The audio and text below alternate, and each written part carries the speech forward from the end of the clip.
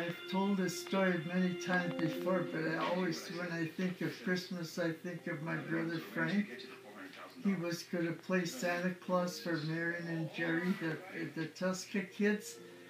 And he's, when he came in, he was dressed up like Santa Claus, but he had his old black shoes on.